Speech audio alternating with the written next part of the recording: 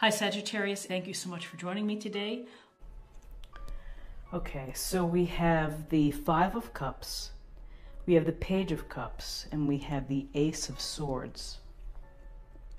So the Five of Cups, we see this hooded, well, not this hooded figure, but this figure with a cape, standing and looking at the cups that have spilled, does not see the, the two cups that are full behind him. This is a card of regret. This is a card of disappointment. This is a card of, of being unable to shake it. And it's, uh, it's hanging around. It's on your mind. So if something didn't work out the way that you had hoped that it would, you may feel disappointed. If you have a uh, someone you've been dating that hasn't uh, quite lived up to what you expected, you may feel disappointed, you may feel let down. With respect to jobs or families, here's this just this is a card where you know your head is down and you feel down. And you are focused on what is lost instead of thinking about what you may still have. It's a card of perspective. And as I look at this card, I always think that yes, it's okay to grieve. It's okay to feel loss. It's okay to feel that sadness or depression or whatever it may be.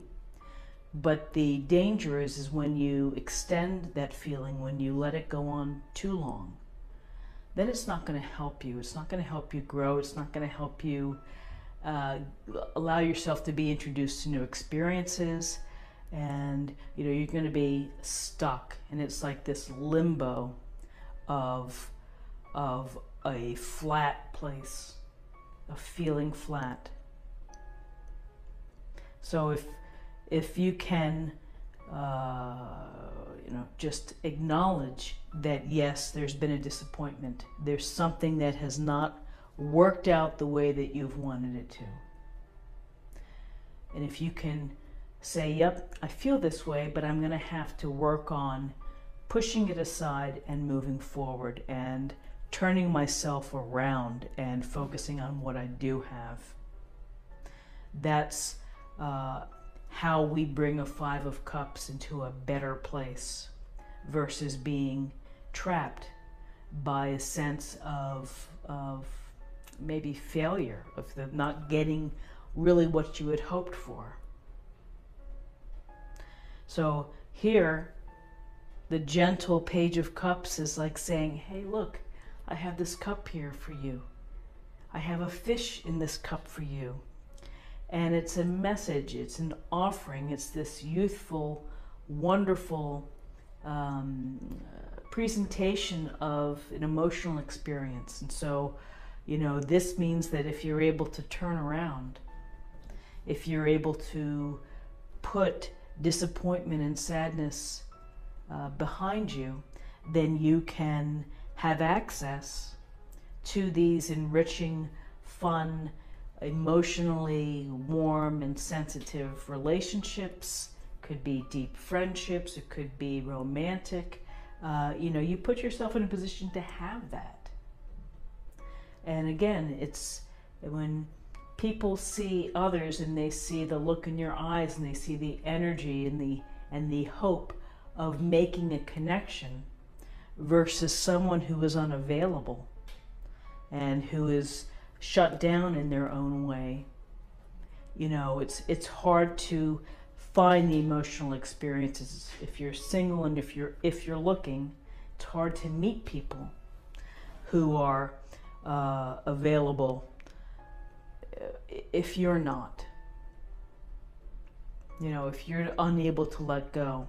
So the page brings, it can bring, he can bring news, he can bring an offering of this wonderful emotional relationship. He can also bring this sense of inspiration and creativity. It's what the fish is. It's about stirring your creative soul and creating perhaps uh, a union or something new that's going to bring you emotional satisfaction. And as you look at the Ace of Swords here, you see the power of the sword. You see the radiance of, of the sword and the steel and the hand here, piercing this crown. And this is saying, listen, friend, you have to adopt a new way of thinking. You have to uh, you have to put things in perspective. You have to use your reason, your logic, your analysis to be able to ride you through whatever it is that has been keeping you in a perhaps in a place where you're unable to let things go. And the sword says new thinking, have a new approach, take a new approach, be smart and be wise. And when you are able to use this Ace of Swords, which is this objective, uh, piercing, this clear sense of the clarity that comes from the Ace of Swords, it's going to drive you in a place to enrich your emotional life and to allow you to, to bring it into your life, as well as perhaps to give it back. So, you know, I, I love seeing the Ace of Swords because it is about, uh, it's like your mind snaps to attention. So all of a sudden, it's like the lightning bolt that flashes through, like, hmm, if I approach it this way, I might have a different outcome. If I change my thinking, if I can uh, table my emotions for a bit and focus on the situation and all sides of the situation So when I look at this, it's an interesting spread because it, it can be and it, it is about perspective. And it is about that, yes, we feel the sadness, we feel disappointment in life, but it's what, what are you going to do with it? Are you going to let it derail you from emotional relationships or experiences or friendships or bonds or fun? Or are you going to say, yeah, this really stinks, but I still have two cups. I have some options over here. And man, I got my I got my smarts back. You know, I'm I'm using my head again. And I'm thinking and I'm going to visualize and create and build whatever it is that I want. If I want a loving long-term relationship, I'm going to visualize it and make that smart plan to get it.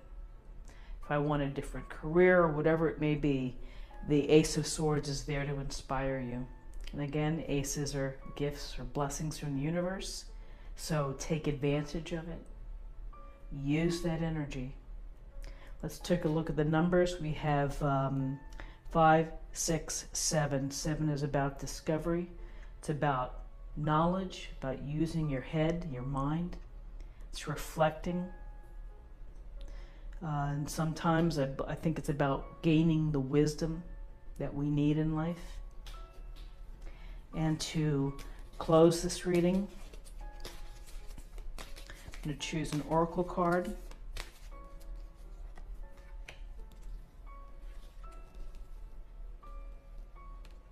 Intention which is a great card because I think that setting your intention with the Ace of Swords driving you behind, uh, the intention of how it is that you want to live. How do you want to live? Be specific. Create it. If you need to make a vision board, if you need to print out pictures and put them, uh, or maybe you know on your desktop wallpaper to look at, something to keep very fresh in your mind what it is that you want, that you see, that you want to bring into your life. And that's setting the intention. I also think that setting the intention is to be grateful and to show gratitude for what you do have. And focusing on the plenty within your life instead of the lack. So I think this is a, I think it's a really nice spread for Thursday. And so I hope that you found something helpful here today. And I hope I wasn't too distracted. My kitten, who has been a little shy about coming downstairs where I do this, uh, has come downstairs and has been running all around. So I've been been back and forth in my head, but that's that's a good step. So I hope that you'll subscribe if you're new to the channel. I thank you for your time and watching and come back again tomorrow for another daily tarot reading. Thanks. Bye-bye.